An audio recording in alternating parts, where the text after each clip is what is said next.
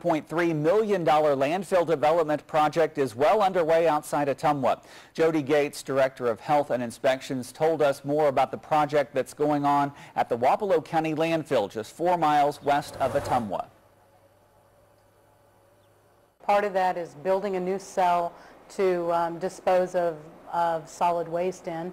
And then another part of it is digging out areas of the landfill for future new cells. Gates says one of the major tasks is removing all the dirt in order to put down a landfill liner to create a disposal space.